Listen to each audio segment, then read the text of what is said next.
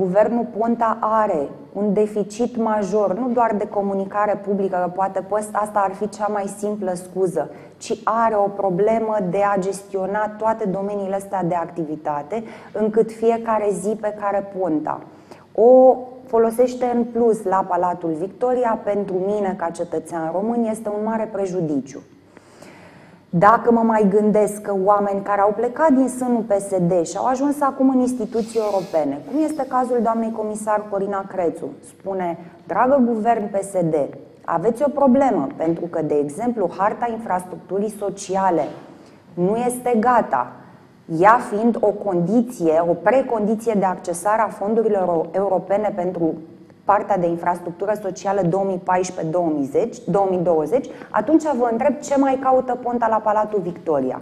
Sunt atât de multe lucruri pe care teoretic noi le știm, pe care noi le criticăm, pe care noi le propunem pentru a putea fi îmbunătățite și există o opacitate de partea cealaltă atât de mare încât nu putem să agrem că sunt niște direcții pe care lucrurile pot funcționa indiferent că suntem la putere sau în opoziție. Dar eu cred că în acest moment un cabinet care este lipsit de credibilitate, care este lipsit de legitimitate, care este lipsit de decență până una alta, pentru că a spune una în public și a face alta la cabinet la Palatul Victoria înseamnă lipsă de decență politică, ar sta mai bine în opoziție în acest moment și ar putea să lase calea liberă unui guvern care are capacitatea să muncească, care își dorește să facă niște lucruri altfel decât le face Do- acest cabinet. Președinte, Vă rog, domnule Chiriac. Frumos vorbiți.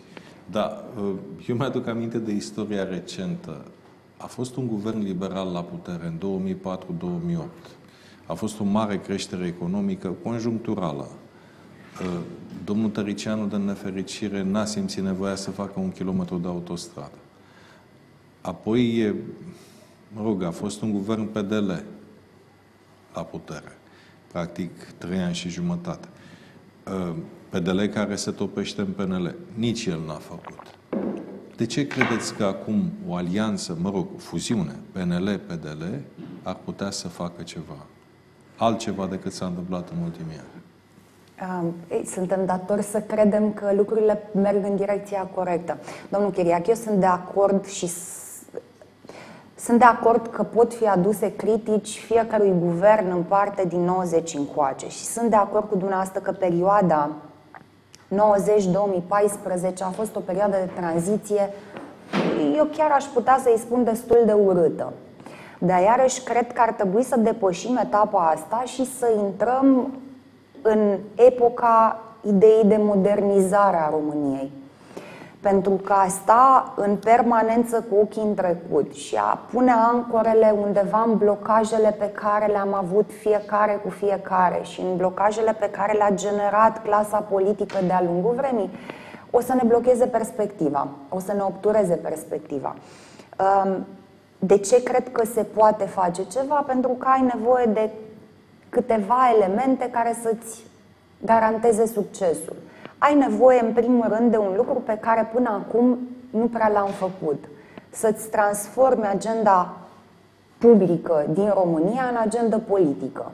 Noi până acum am generat o agendă politică care de multe ori nu s-a suprapus pe, peste ceea ce vrea românul. Doi, am crezut că le putem face pe toate și că putem să să aducem modificări și îmbunătățiri în absolut orice, fără să ne prioritizăm obiectivele, repet, în funcție de ceea ce vrea românul și simte românul.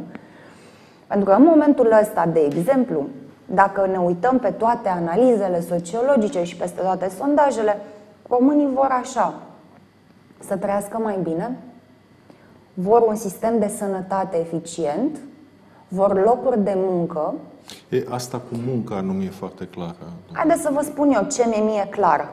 Că Ponta a promis un milion de locuri de muncă și că numărul de locuri de muncă cu care a crescut, locurile de muncă au crescut în 2013 cu, știți, că era un studiu ieri prin, pe Hot News, am senzația. 100 de mii, nu știu. Nu, 682. 682 de, de locuri de muncă. Adică păi până la în loc un, de un milion păi s-au creat doar 682? Păi până la un milion, adică mai puțin de 1000? Da, mai puțin de 1000.